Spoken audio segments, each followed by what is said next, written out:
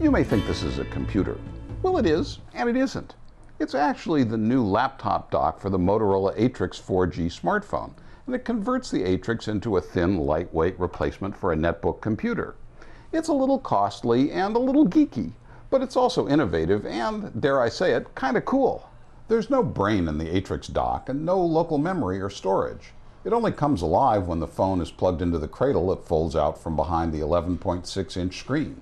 You also get a full keyboard, generous trackpad, and a couple of USB ports, all in a package that weighs about two and a half pounds.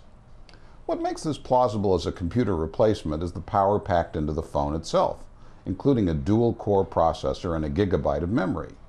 The Atrix, which goes on sale for pre-orders from AT&T this weekend, runs Google's Android operating system and includes both front and rear-facing cameras and even a fingerprint reader. But there are lots of nice powerful smartphones out there these days. It's really the expandability that sets this one apart. Once the Atrix is docked, an on-screen replica of the phone gives you access to all its functions and apps.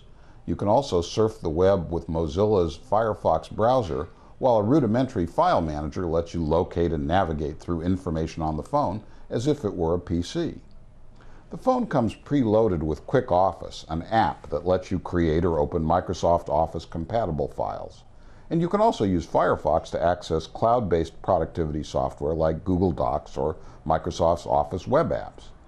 You probably won't want to write the great American novel on the Atrix, but it works very well for tweaking a presentation or memo, watching a movie, or doing your email. There are a few drawbacks. One is price. The phone itself costs $200 and requires a two-year contract. Buying it and the dock together costs $500 in an AT&T bundle. Then, in addition to your monthly charge for data service, you'll have to pay an extra $20 for a tethering plan to let you use them both together.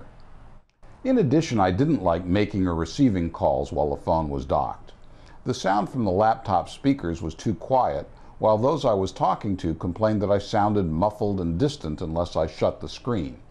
In addition, because the dock doesn't have a camera, forget about using it for video calls. Still, Motorola and AT&T deserve some credit for doing something that's really new and different.